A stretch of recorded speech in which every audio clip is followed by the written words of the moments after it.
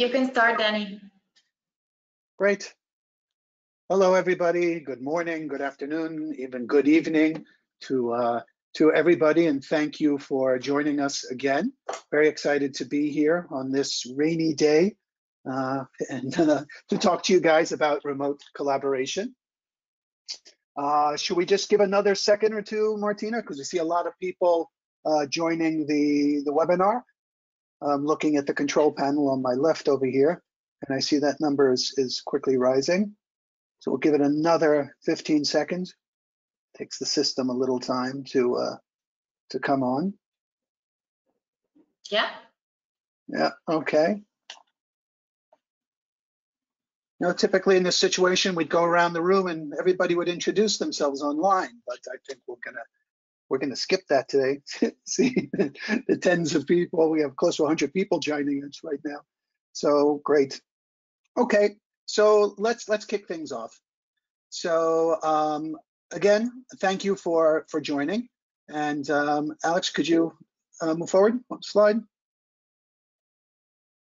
Great. So for uh, those of you who we have not had the pleasure to, to meet yet, my name is Danny and I head up uh, Optitex Global Sales. And uh, today we're going to talk to you about collaborating and not just collaborating, remote collaboration, which is a really a, a whole different animal. Um, I'm not going to uh, spend time talking about the importance of, of, working remotely and being able to collaborate remotely. Uh, as I sit here in my uh, my my bunker uh, against uh, all of the, the, the COVID germs and the zombies that are that are chasing us outside, I, I think that's pretty clear to to everybody. But there's a lot of uh, other aspects um, besides besides just having to work remotely. It's how do you do it safely? How do you do it effectively? Uh, we can't risk losing our productivity.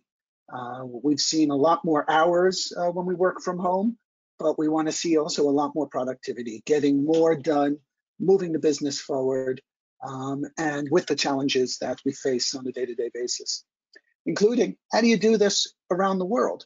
How do you do this when you're working in multiple different multiple time zones? And of course, languages. Um, none of this is particularly new. We do this on a daily basis. We did this the day before uh, COVID hit us, and we're going to do it the day after after it ends. But how can we use technology to make all of this easier? And how can we use these 3D assets that created on our on our on our platform to move your business forward? I call that 3D part two. And we should call it 4D. I don't know. But uh, can you move forward a slide? Yep, thanks. So today we're going to talk to you about uh, literally how we how we connect the dots, how we bring together disparate teams, teams working from around the globe to keep that level of productivity and keep that level of uh, of, of, of uh, efficiency using the tools that you would have had had you been in the in the office. Had you been able to go tap on your neighbor's door or your neighbor's cubicle and say, hey, can I see that swatch? Can I see what that uh, what that graphic looked like again? Uh, can't do that when you're when you're sitting home in your living room in your slippers, but you can do it by using uh, the Optitex uh, OCloud solution. So um, we've we've uh, we've redesigned the system really from from the ground up. We've made it faster, we've made it more robust, and we've made it uh, even easier to use. Now, we're, we're going to walk you through a, a demonstration, um, and uh, Alex will call out to say, think right now as a designer, think right now as a pattern maker, um, and uh, put on those different hats while, while, we, uh, while we walk through it. Um, also keep in mind that what you're about to see is completely browser based. So you don't need the uh, Optitex development uh, solution on your desktop. You don't, you don't necessarily need to have your desktop right? And wherever you are in the world and wherever you're in the middle of doing, you'll be able to access uh, uh, your collection, review it, comment, uh, and and uh, and see that all in real time. Can you uh, go to the next slide, Alex? Yeah.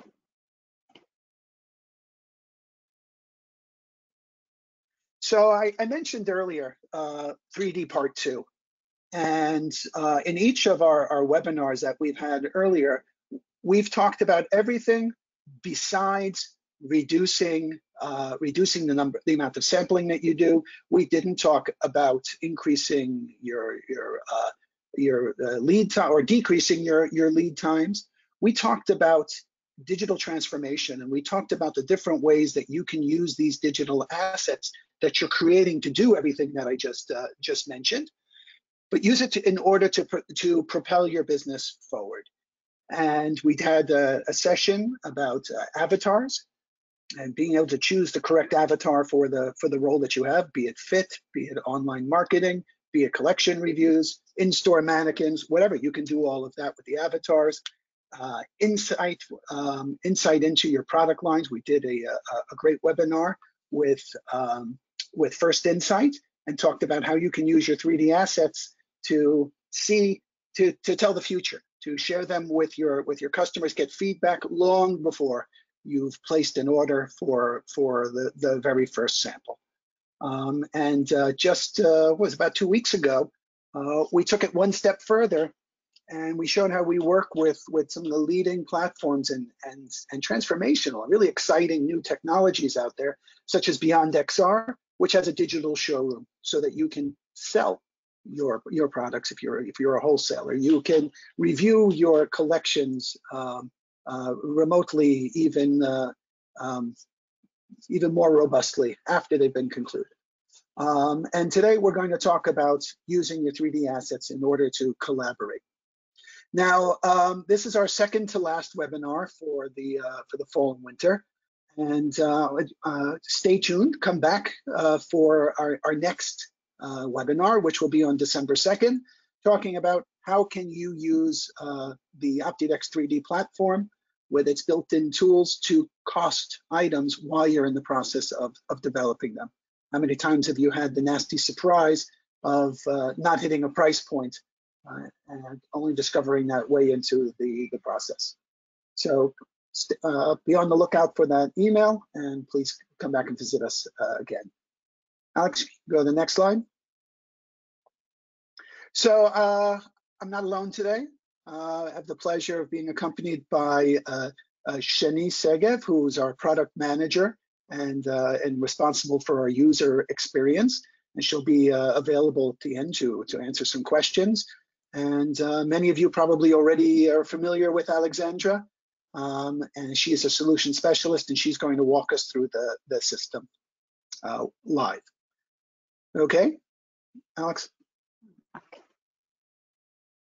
So just a little housekeeping. Um, we've uh, your your microphones are, are muted. So if you have a question, and we encourage questions, please shoot it over to us via the the chat function, and Martina will will um, will collect them, and we'll do our best to respond to them at the end. If the question is is very specific to a, a particular use case, we'll get back to you offline.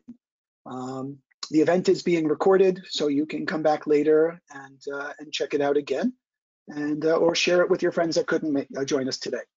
So without further ado, Alex, I'm going to hand over the, the, stage to you to walk us through uh, a live demonstration of the system. Okay, thank you very much, Danny. Uh, I will turn off my camera just for uh, net issues. Um, so So hello and uh, welcome to our autumn winter webinar, uh, which will be a tour into our uh, new cloud platform. Um, my name is Alexandra Vasilaki and I am solution specialist at Optitex. So in our journey today, uh, I will show you how you can uh, improve and make more accurate uh, your communication between you and your partners, such as uh, clients, designers, buyers, or manufacturers. Uh, let me give you an explanation of this uh, process before we jump into the live demo. So after we have developed the digital sample, then we are ready to share this 3D asset into the cloud. There we are going to live uh, um, a contactless experience of a fitting session in which we can uh, add our comments, we can require for uh, more samples. So we will have the chance in one place to review all the previous samples of the specific styles that we have requested. So after that, we will also be able to seal uh, samples online and then create our uh, digital uh, collections. So let me show you all this, how we can do it live. So logging into our uh, cloud platform, each user can log in into their organization where they have uh, upload their styles. As we mentioned before, you don't need any special uh, installation. You just need the subscription and from any browser, you can log in and you can see your own organization and the admin of that organization will be able to create clients and users and uh, there they can uh, assign specific uh, rights of which collection or which folder each user will be able to log in.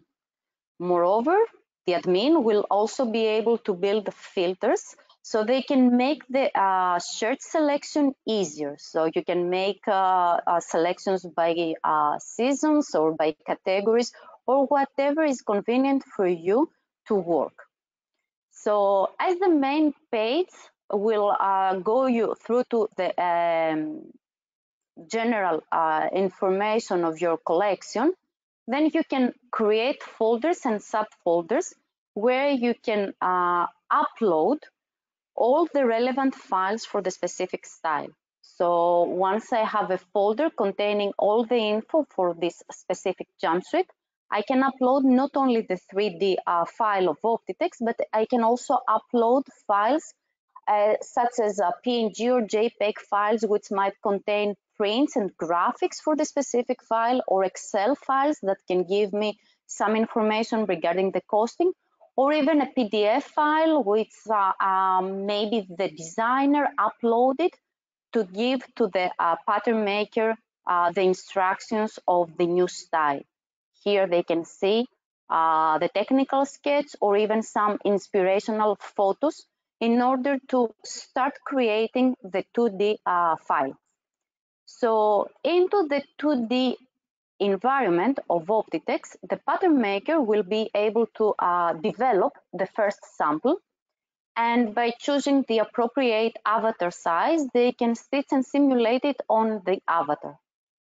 Before they share it with the other partners, they will also be able to check fitting and how that uh, all the technical details of the garment. So once they're happy with this result, now they will be able to upload it into the cloud. So in order to upload it the cloud, you can again select in which folder of your collection you would like to upload this style. And there you can also add some uh, information regarding uh, who did this pattern, on which date you did it. And you can also find information about the sizes that you have created for this style or informations information regarding the fabric that you have applied on these pieces. And then you will be ready to upload this file on the cloud. So on the cloud side, the user from any side of the world can log in with their own uh, username and password and can see this 3D view. So anytime they will be able to zoom and check all the details, stitches, trims, whatever they have applied on this garment they will have the possibility to see this garment with or without the avatar in different views, such as front, back, side, top view, where I can see the shape of the neckline. I can show and hide the stitches. Or in case that uh, they have uploaded uh, on this style different colorways, I can jump from one colorway to the other.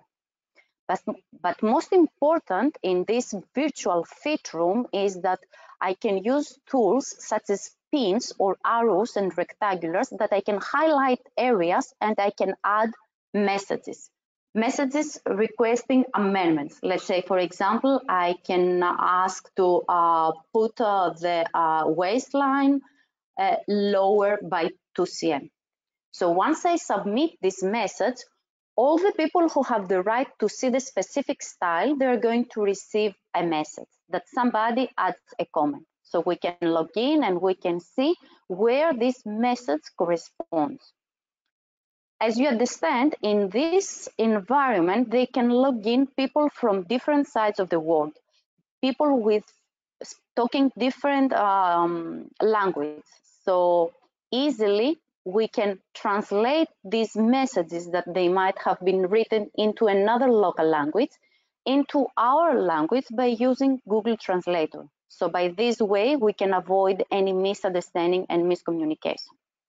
So all these comments now that we have on the uh, on this field, we can download it into an Excel file, and that file can be added in, in any uh, design tech file, or we can even import it into our PLM system. So once, let's say, uh, the designer, Nicole Calendar, add me a comment asking me to change the, uh, uh, the sleeve, me as pattern maker, who I might be located in another country, I can translate it and then I can go back into the uh, pattern design system of Optitex and by using the 2D tools, I can easily and very fast do the amendments that I have been asked for to do. So once I do these amendments, I just need to refresh uh, this uh, 3D view and upload the file again on the cloud. This time I will be able to uh, go through different versions of this style. So I, I can open any uh, previous or new uh, revision of this file through this dialog.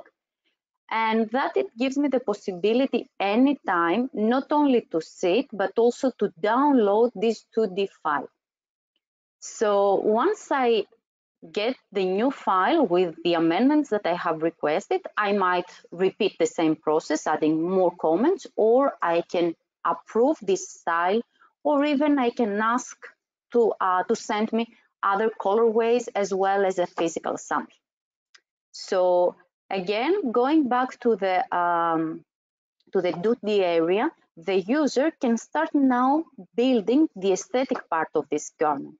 They can apply um, stitches and trims that can be uh, imported from Optitex library.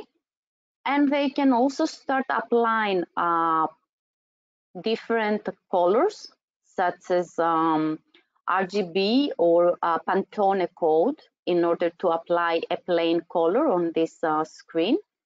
Or if I would like to apply a printed fabric, I can select the pieces and I can apply on these pieces any printed fabric that can be uh, RGB or uh, PNG uh, format. Change the scale to see how that will look like even before I make any physical sample. I can check how uh, the contrast colors of the stitches they might work or the, uh, the zipper and once I'm happy with this result, I can uh, generate the images, the photorealistic images, with or without the avatar by saving a single image, just the current view, or I can save the 36 images in order to create 360 degrees file. So these images, again, I will be able to upload them into the same folder where I have gathered all the files for the specific jumpsuit. And I can have them as 360 views, which I can see the garment all around. I can stop anytime and I can zoom to check the details of the specific style. Or I can just upload single images and I can go through the other colorways and see how this jumpsuit will look like in another color before I ask the uh, physical sample. So all these uh, images after that, I can gather them in one place where I can create a digital collection. Here, uh, it's uh, very important to tell you that without having any physical sample, I can go into a, a meeting where I can present uh, the collection on time without the need to create any PowerPoint presentation or without the need to, to do any printouts of the, of the collection. I just log in and see my collection and easily I can search for uh, styles. I can just click in the filter selection and I can choose which kind of category I would like each time to see on my screen. Or if I would like to make a combination between two different categories, I can immediately see it on the screen and present my current uh, collection. So to summarize, uh, what we see today, uh, uh, Optitex cloud platform gives you uh, flexibility, saves you a lot of time, gives you the possibility to do virtual fittings on time, communicate with your partners. Nowadays that is difficult to travel all around the world, we can just sit in front of our screen and do a virtual fitting, adding comments and requesting for new uh, samples. Moreover, we can gather all our uh, garments and put them in a collection where we can present the styles very fast on time without the need of any physical sample. And most important, very easily and very fast, we can make many, many uh, different color combinations. So thank you very much for your time. And I think now it's time for your questions.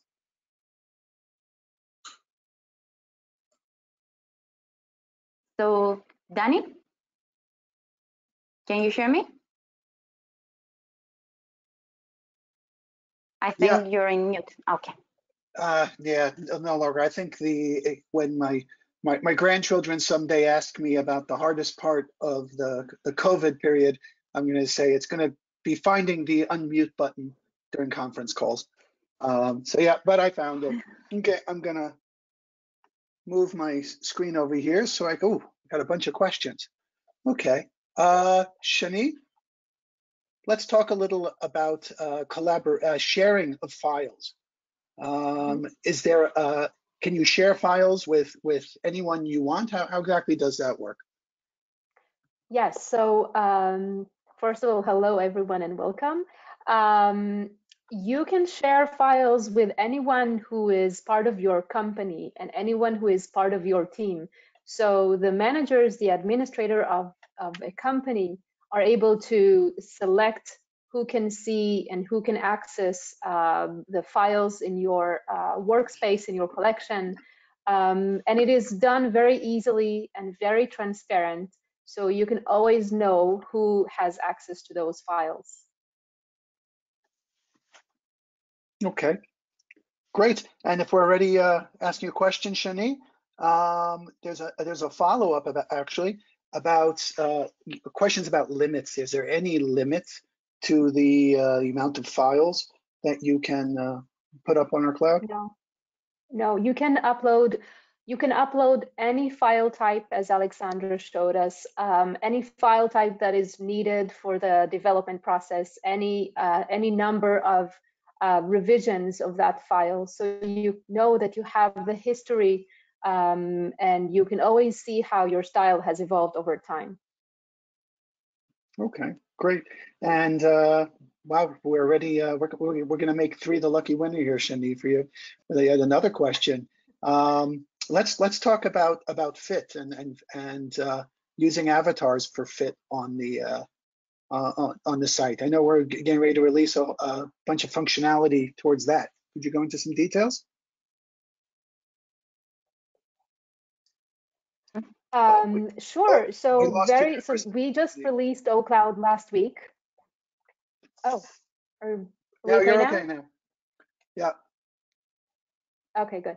Um, so we just released OCloud last week, uh, which is a very, very exciting thing for us. Um, and this is just the beginning, and we are planning to release also uh, fit capabilities uh, in the next coming in the in the next couple of months um, that will allow you to do to view the stretch maps and distance and the mesh view. So you can also take those activities and do them on the cloud anytime you need to and anywhere. So stay tuned because it's very, very close. Okay, great. All right. And um, so let's talk a little about uh, PLM.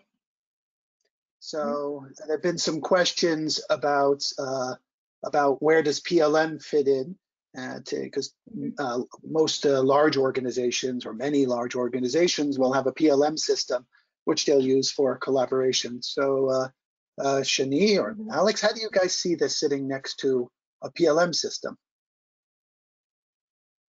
Shani, Alex, do do you you wanna want take to?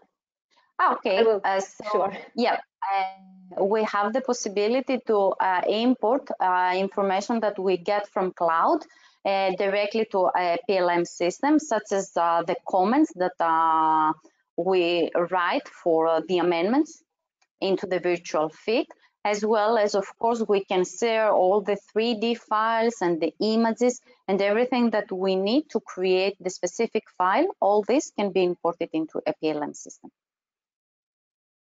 Yes. Okay, great. Well, the way I see it, um, OCloud can, uh, in, in some place, can complement a PLM.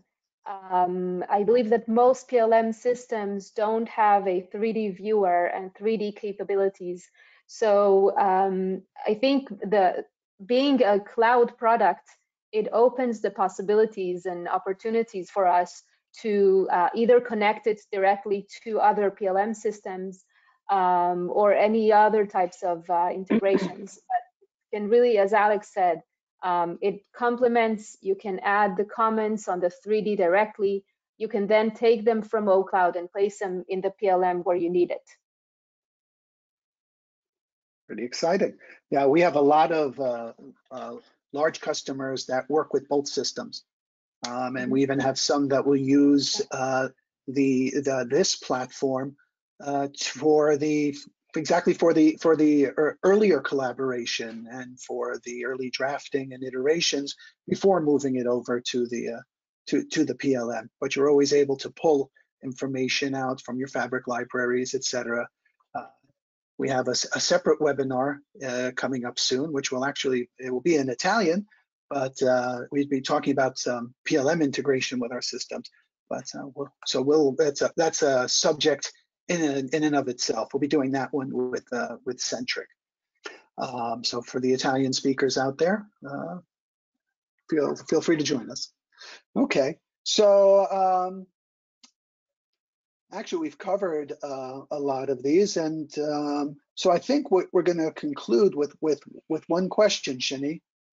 Mhm. When can people get their hands on it? Oh, wow. Uh, today. Mhm. Uh, so feel free to reach out to us, uh, to our sales team, um, and we are ready to welcome you to the platform, um, give you demos and uh, do trials as you need to. Uh, but we are ready for you. So uh, please be in touch. Always room for one more, right? Oh, Great.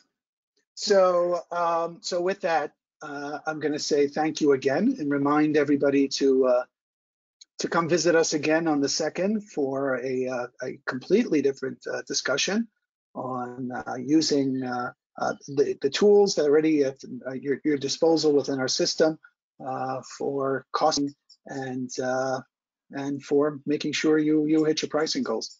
So thank you everybody and be on the lookout for email with the recordings, etc. And uh, we look forward to seeing you again soon. Thank you, everybody. Okay. Thank you very much. Bye-bye. Bye. Bye.